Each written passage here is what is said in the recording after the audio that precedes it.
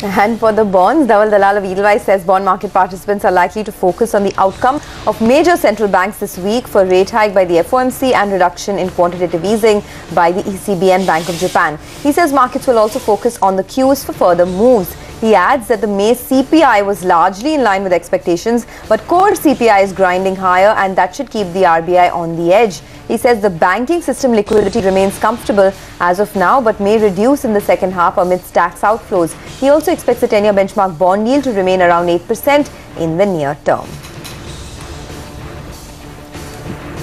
All right, those are all the local cues, but now let's put the spotlight on what's making headlines around the world.